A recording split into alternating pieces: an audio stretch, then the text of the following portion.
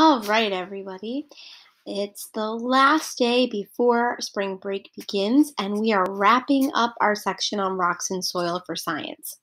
Today, you'll have a text article to read and then answer questions. You'll need to create a Google Doc and answer the eight questions, and make sure that you restate the questions in your answers and turn in the assignment when you finish. Now, obviously, there is a joke of the week as well but I'm not even going to go there. I just want to show you first where your questions are and then where the text is. So the questions are the first PDF, and I think I said this before, but I'll tell you guys again. I highly recommend downloading each of these. It just makes it easier if you are trying to open it. I'm going to open it in a brand new um, brand new tab.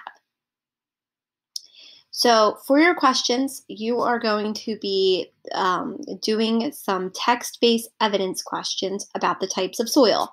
Hopefully, you all enjoyed going out, finding some soil, doing different activities with them, and, and putting them on the Flipgrid. So, now it's time to make sure that we summarize and recap everything that you've learned. So, answer these questions after you read the passage. Remember to begin your answer by restating part of the question Use direct evidence from the text and explain your thinking. Your first five questions are very much more about key ideas and details, so you're really going to need to use direct evidence for these, especially. So, for number one, it says, according to the first passage of or paragraph of the text, why is soil important? Number two, explain why many living things cannot survive in sand. Number three, describe how silt is formed. Number four, describe how humus is formed. And then number five, list the four types of soils. So four, four out of these five, you really need to include a good amount of detail. Um, number five, you're just listing them. So you would put something like the four types of soils are, and then list the names of them. All right. When we move on to the second page, though, these questions, you'll still need some direct evidence from the text, but these questions are more about um, vocabulary definitions that are important to know, as well as the type of structure of a text. So, again, you're going to be paying attention to the word soil. You want that definition. So, you need to really go back in the text and find the actual definition that the text gives you. And then pay attention to how this passage is organized. So, is it chronological, cause and effect, comparison or contrast, description, or problem and solution. But with this one, you do need to give evidence and then explain. This one, number seven, you definitely need a race response. So you need to restate the question and answer it, then cite your textual evidence and explain how that evidence supports your answer. And for number eight, this is where you have to give the main key idea, the central idea that the author wants you to understand from this text. And again, you need to use evidence from the text and then also support your reasoning with some explanation. So, again, number eight is also going to be a race response. All right, once you have this opened as well as the text open. You can follow along with me as I read the text. Every so often, I will be pausing to give you some guidance on questions that you can answer. Obviously, the last two, I'm going to highly recommend you wait until the end to answer. All right, so if we go back to Google Classroom, and we click on your actual text, I'm going to open this one up in a new window too.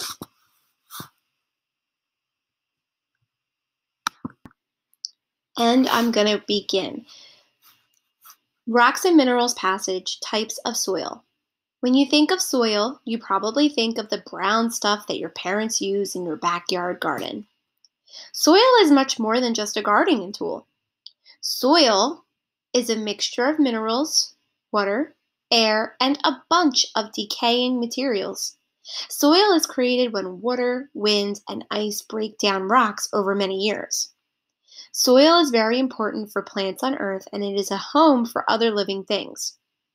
It cleans the air and water. Soil is a building block for both natural and human construction projects.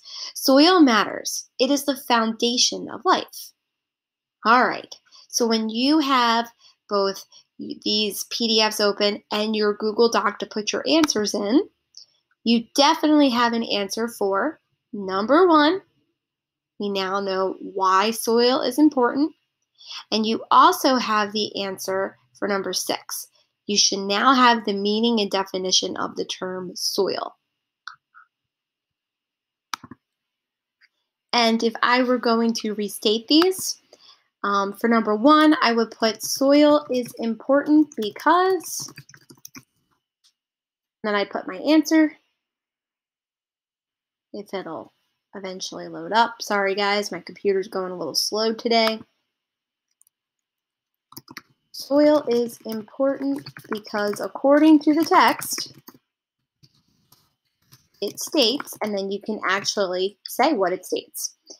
Um, for numbers, sorry, two, I don't know why my computer is doing this, but anyway, for number six, the term soil means, and then give me the definition. Hopefully this helps you a little bit when it comes to having to um, restate your questions first. If it helps you guys, if you do have a printer at home, you can also print this out and highlight as I go along too. All right, let's get back to the text. Paragraph two. There are four main types of soil. Humus, sand, clay, and silt. Soil is placed into groups based on how big or small its pieces are. The size of its pieces determine how it behaves. For example, some soils hold a lot of water, which makes them good for growing plants. The different types of soil can be found in different parts of the world. Some places have more than one type of soil. Sometimes people mix different types of soil together on purpose to fit their needs. The type of soil, or soils, found in an area has a big impact on life in that area. The soil decides what plants can grow, what animals live nearby, and what resources are available. All right, after paragraph two, I definitely heard an answer for number five. So you should now be able to list the four types of soils. Again, if I were going to restate that, I would put something like the four types of soils are called, and then I would list them because that's all it's asking me to do.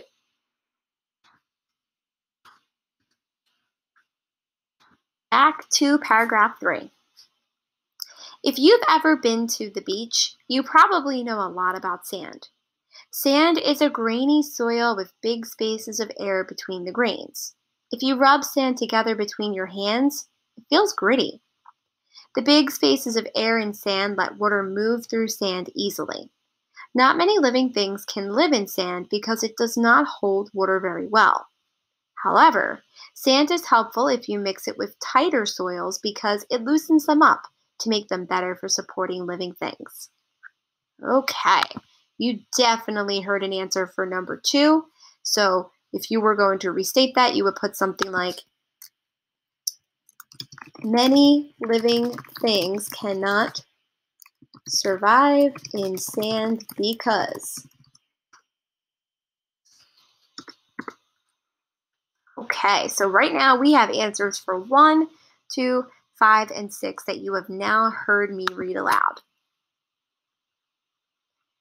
Okay, paragraph four. Silt is an itsy bitsy teeny tiny version of sand. Sand feels grainy, but silt but feels like flour if you touch it. Running water, like rivers and streams, carries silt from place to place. Eventually, the silt is left at the bottom of a bigger body of water as sediment. Sediment is a fancy word for the dirt, rocks, and other material pieces, like shells or mud. Sediment collects at the bottom of a body of water, like a lake or the ocean. After many years, pieces of sediment press together to make rocks. Do you know which top type of rock sediment forms? Well, we learned that in our last unit. All right, so now you have an answer for number three. Describe how silt is formed. So for number three, you could put something like silt is formed by, and then describe that process. Next paragraph, I believe this is paragraph five. Clay is a type of soil that is even smaller than silt. There is not much space between the particles in clay. This makes clay feel sticky when it gets wet. When clay is dry, it breaks easily and forms into clumps. Clay is helpful to the plants and animals that live around it because it holds water and minerals very well. It does not let water go very easily. Like clay, humus is very helpful to helpful for living things. Humus is a loose soil that is made out of living things that died and decomposed for many years. Humus is the soil that you probably think of when you think of gardening. Humus is dark, soft, and crumbles easily. Like the core of Earth has layers, the soil sitting on the Earth's surface has layers too. Humus usually makes up the top two layers of soil on Earth. All right, you just heard me give you the answer for number four. Describe how humus is formed. So you would put something like humus is formed by, and then tell the process. Now we have answers for numbers one through six. And as I mentioned, you definitely want to save those last two for the end. So I'm going to finish reading this first before I give you some additional guidance. You might think the soil underneath your feet is not important, but soil is needed for life on Earth. Many plants and animals need soil to live. Many of the buildings you live and play in are built on soil. Soil also cleans the air you breathe and the water you drink. Take a closer look at the soil the next time you are standing outside. You might be able to see for yourself that soil is more than just brown stuff to be used in a garden. And here's a fast fact a little bit of sand is usually added to humus to make it the perfect soil for plant growth. The soil that is used for growing plants is called potting soil, which a lot of times we use potting soil when we use um, pots to grow plants in. All right, so when you look at numbers seven and eight, I want to remind you again that sometimes these texts can be definitely more than one type of structure, but you did hear um, about the different types of soil. You heard about how some of them are formed, and then you also heard about how they are helpful. So if you're going, whichever one you were going to pick, um, just keep in mind that you didn't hear as much of me telling you how they're alike or different necessarily. And you didn't hear as much of how there's different problems and how they are solved using soil. So I hope that that gives you a slight hint on some of the ones that you could or should be using for number seven. And then for number eight, with the key idea that the author wants readers to understand, well, my first suggestion is always to look at a couple things. Look at the title and then reread the first paragraph and the last paragraph. So when you read this first paragraph, it first introduces you to what soil is, but again, it does talk a lot about how soil is very important for plants on earth and for other living things. And then down here, it also says kind of the same thing. It gives some more reasons for why it's important. So I hope that this helps when it comes to um, identifying how to answers number seven and eight. Remember, though, that they should be race response answers. So for number seven, I might start out with the passage is organized in a blank structure, right? Then you want to give some evidence. As the text states, and then you could, um, or you can put a good example of textual evidence to support this is, and then you can put, um, that would be your evidence.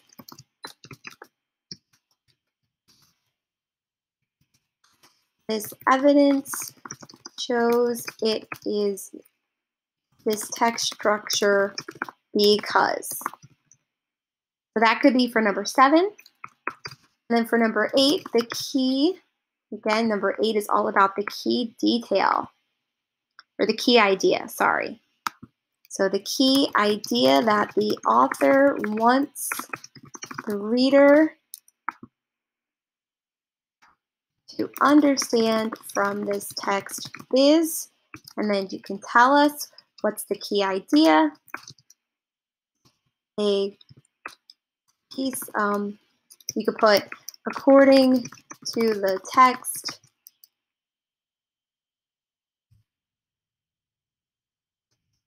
the author states, and then you could put the piece of evidence, and then you could put this shows that the key idea of the text is, so you're going to restate that original because, and then tell me how that shows that. So again, everybody, um, I just want to remind you that it is so important that you really use these videos as resources because I'm really trying to make sure that I'm giving you guidance just like I would in a class lesson in class in person with you all. I hope that this helps you. Make sure that you follow along. And if I don't see you or talk to you, I hope you have an awesome spring break and we will talk to you soon.